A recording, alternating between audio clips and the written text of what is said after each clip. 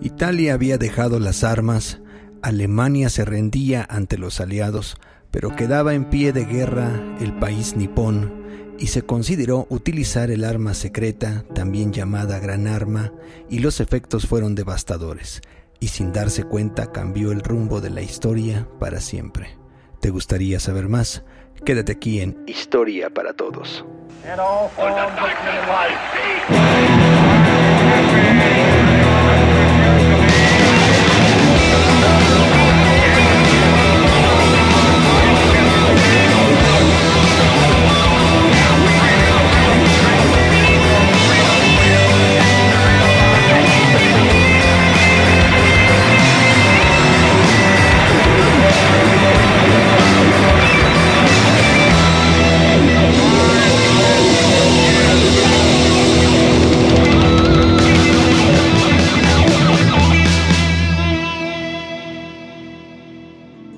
En 1939, Estados Unidos se propuso a crear la bomba atómica antes de que lo hiciese la Alemania nazi, y este se llamó el famoso Proyecto Manhattan.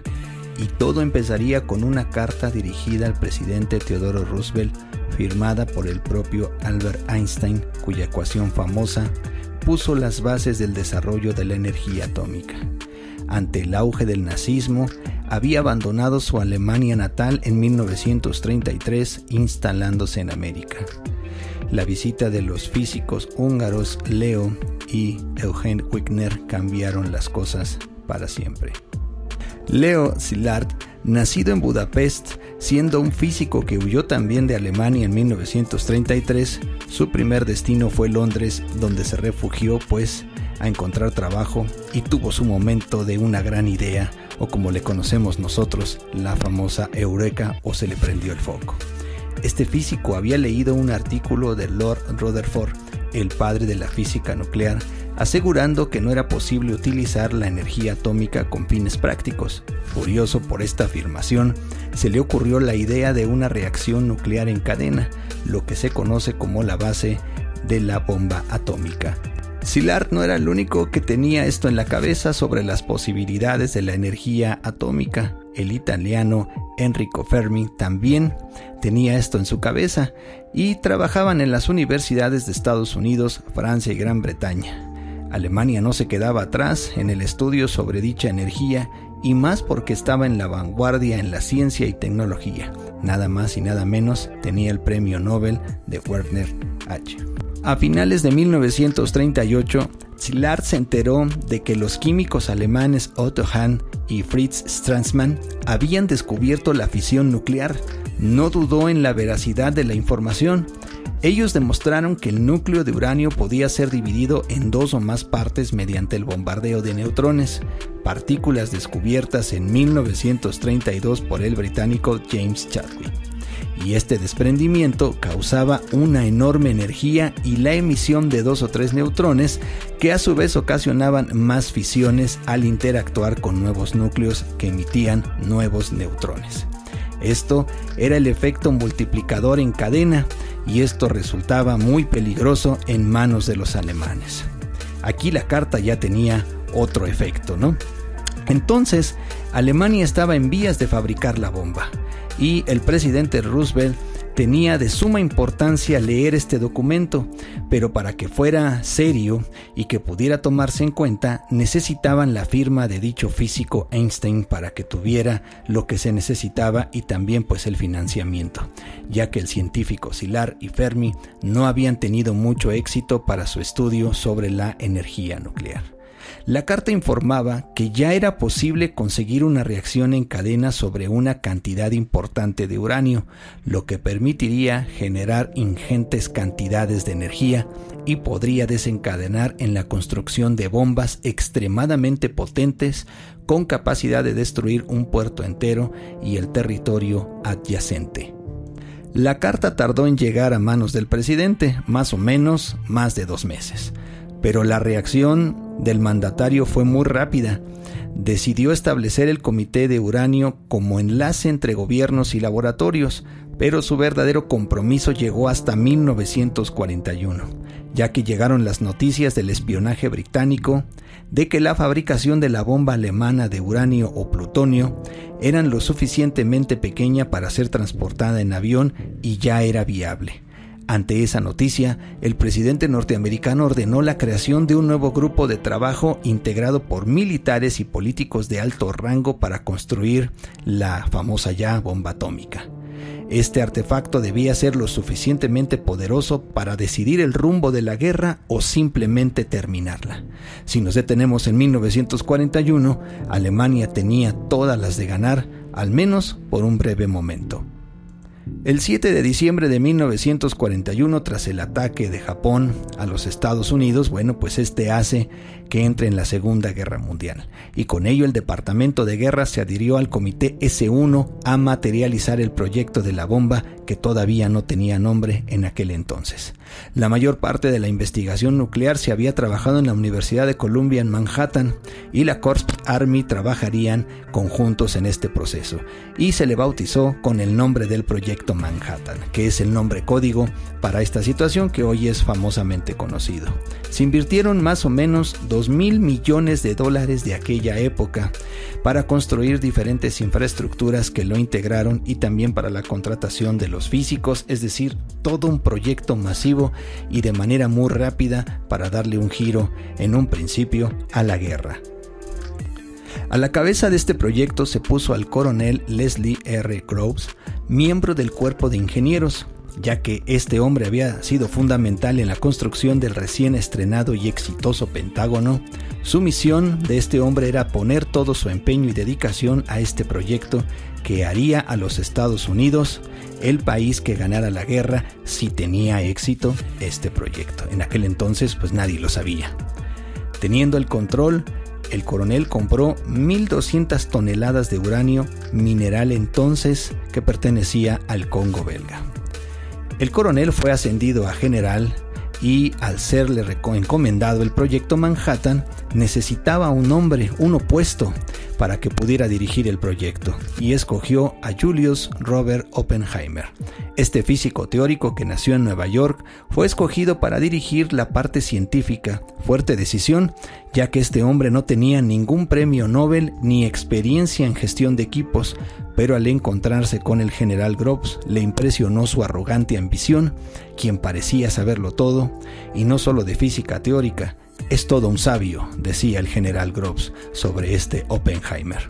Ambos estaban en sintonía y un ejemplo de ello es que Oppenheimer le propuso la construcción de la bomba en un lugar aislado, lo que facilitaría su seguridad, y fue en Nuevo México donde el físico propuso esta idea y fue aceptada por el general, ya que este hombre tenía un rancho en este territorio, es decir, Oppenheimer, y conocía bien la zona cerca de los famosos Álamos, un lugar seguro, tranquilo, para la perfecta concentración que necesitaba el proyecto.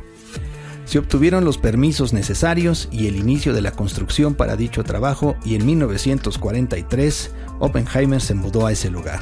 El físico reclutaría las mentes que necesitaría para este gran proyecto y bueno, pues el general a su vez construiría la infraestructura, el flamante laboratorio en un tiempo récord o en un tiempo veloz. El mundo seguía en guerra y las alianzas en ese año tomaban otro curso en la historia.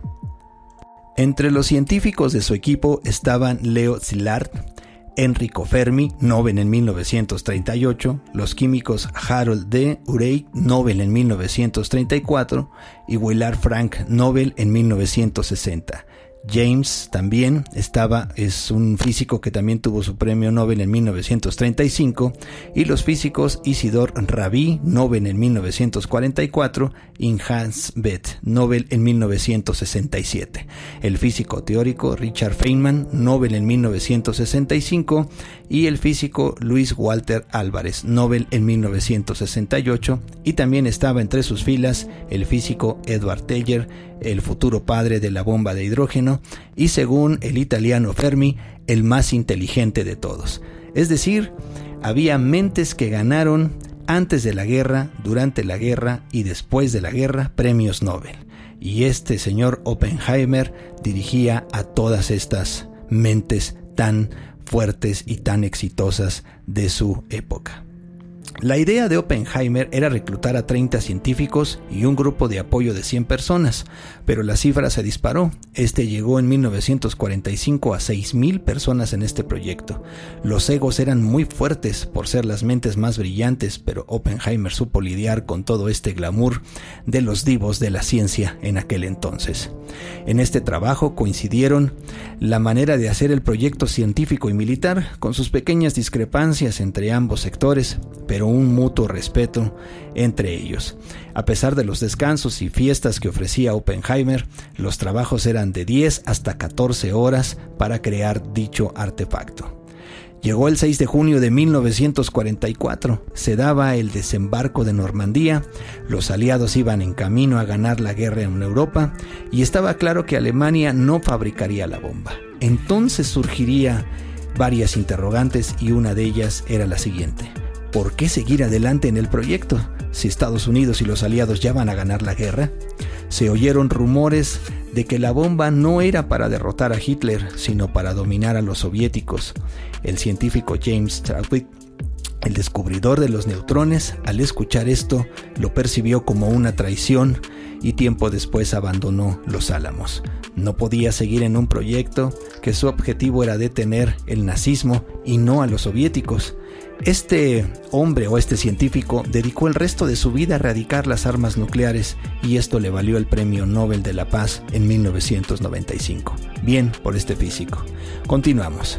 El trabajo de los Álamos continuó sin este hombre y como dijo el físico danés Niels Bohr, la bomba es algo terrible, pero también la gran esperanza y bien usado y controlado podría ser garante de la paz en el mundo. El 12 de abril de 1945 muere el presidente Teodoro Roosevelt y Harry Truman tomaría el control de la nación que se convertiría en la máxima potencia mundial y este hombre desconocía de dicho proyecto hasta poco antes de su investidura como presidente de los Estados Unidos. Hitler se quita la vida el 30 de abril en su búnker y también junto con su esposa y ocho días después Alemania se rinde y volvían los rumores de que si ya se había derrotado a los nazis, ¿por qué seguir con el proyecto? La guerra en el Pacífico era fuerte y virulenta, decían varios militares, y se seleccionaron 17 posibles blancos en Japón. El científico Leo Szilard quedó horrorizado sobre el objetivo ya que el uso del arma sería nefasto, y en junio de 1945 él y otros científicos hicieron el informe Frank, donde, bueno, instaban al presidente Truman a que no usara la bomba, pero la decisión ya estaba tomada, solo era cuestión de tiempo. El 16 de junio de 1945 se dio lugar la prueba en el desierto de Jornada del Muerto en Nuevo México, la explosión se hizo a las 5.30 de la madrugada. Fue un rotundo éxito. Superó todas las expectativas y por primera vez los presentes vieron cómo se formaba un hongo en esa explosión y la luz tan brillante que impactó a cada uno de los que estaban ahí. Isidor Rabí declaró, a pesar del calor se sentía la piel de gallina. Oppenheimer declaró que fue una explosión terrible a la que muchos niños no nacidos aún le deberán su vida. Arrogante la declaración, acertada, lo dejamos a tu opinión. Ni siquiera los pilotos y soldados sabían lo que traían consigo en el famoso avión Enola Gay y el 6 de agosto de 1945 despegó de la base americana a las 7.30 am y en sus tripas llevaba el resultado de los científicos más exitosos de su época. Y esta fue arrojada en una población civil y la bomba fue llevada a Hiroshima, ciudad que no había sido atacada, por cierto. Uno de los pilotos dijo, no vi nada más que oscuridad. 70.000 personas murieron y casi el doble después por la radiación. El mundo no sería el mismo y esta arma cambió el rumbo de la historia de la humanidad. Oppenheimer continuaría con los estudios de armas nucleares de segunda generación, pero fue acusado de sospechoso y en 1943 se le acusó de tener vínculos con comunistas y esto le quitó el acceso a secretos de Estado militares y perdió su trabajo en la Comisión de Energía Atómica a pesar de haberlo encontrado inocente. Murió en 1967 a causa del cáncer de garganta Aunque después su figura fue restituida, se dice que no mostró ningún remordimiento por lo acontecido el 6 de agosto de 1945. Concluimos, el hombre es capaz de crear cosas maravillosas. No podríamos asegurar que esta haya sido una de ellas, pero nos quedan varias preguntas y quizás al final lo dejamos a tu opinión y la respuesta que tú puedas tener. Y si Alemania hubiera puesto todo su empeño en crear y detonar esta bomba, ¿qué hubiera pasado en la historia? ¿Habría ganado? ¿Habría tenido piedad? No lo sabemos. Para muchos no era necesario detonar este artefacto, para otros era un mal necesario. Y como dijimos hace un momento, al final lo dejamos a tu opinión. Si el video te gustó, nos encantaría muchísimo que nos regalaras pulgar arriba y te suscribas a nuestro canal. Déjanos tu aportación en la caja de comentarios. Esto fue Historia para Todos.